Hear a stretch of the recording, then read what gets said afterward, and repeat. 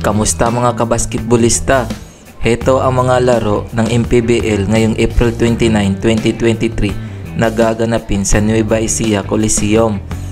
Unang maglalaro ang Manila Stars na may 1 win 5 losses kontra sa Bicol Volcanoes na may kartadang 0 win 6 losses ganap na alas 4 ng hapon.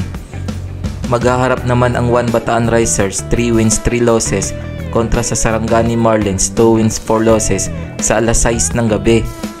Maglalaban naman ang Iloilo United Royals 2 wins 4 losses kontra sa Nueva Ecija Rice Vanguards na nangingibabaw sa standings 6 wins 0 loss alas 8 ng gabi.